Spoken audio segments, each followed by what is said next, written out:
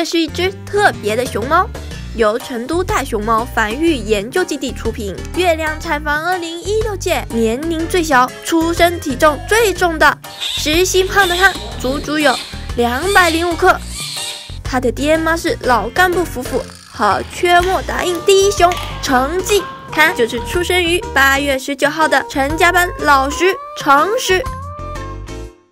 程石在批量晒熊猫拉仇恨的时候最显眼的，简直就是为了猫粉界们认猫开了外挂，因此人送外号小灰灰。除了灰 buff 外，还有一个 buff，就是包汤圆，简直是从一出生就扛起了睡神的大旗，包遍斧头山。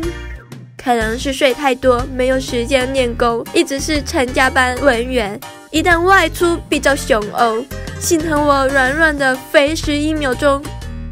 但饱经弃妇的诚实一直在奋斗逆袭，越挫越勇。